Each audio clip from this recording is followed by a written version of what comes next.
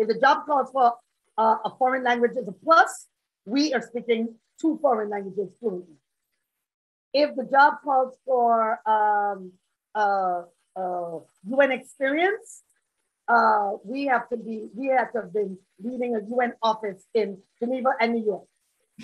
we know that the bar, when you look at the resumes of some of these women, Black women who lead organizations, and you're like, damn, these women are insanely qualified. And then you could go and look at other organizations where you have, you know, white women who are in charge and they have a BA.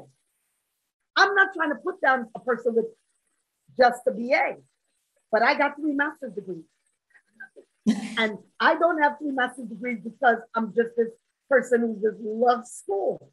I got three master's degrees because I was forever in the mindset that I had to be better. So I, the answer to that is, you know, I was, I decided to walk away from my role in an organization in order to say what I wanted to say.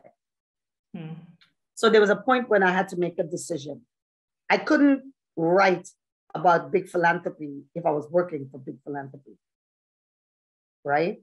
Right? And so there was a point when I had to make the call to go on my own. And I went on my own precisely because I needed to say what I needed to say.